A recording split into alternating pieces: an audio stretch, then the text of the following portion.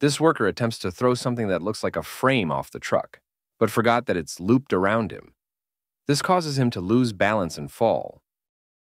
Fortunately, his colleagues quickly assist him and he appears to be fine after the incident.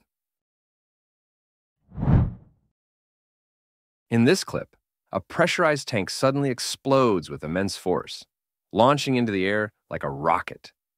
The sheer power of the explosion demonstrates the dangers of improperly handled or overpressurized tanks.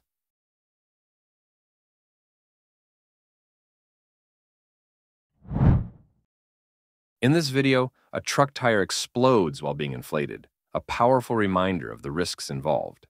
This kind of incident can happen due to overinflation, defects, or improper handling. It's a clear reason why you should never stand near an inflating tire and always leave such tasks to trained personnel.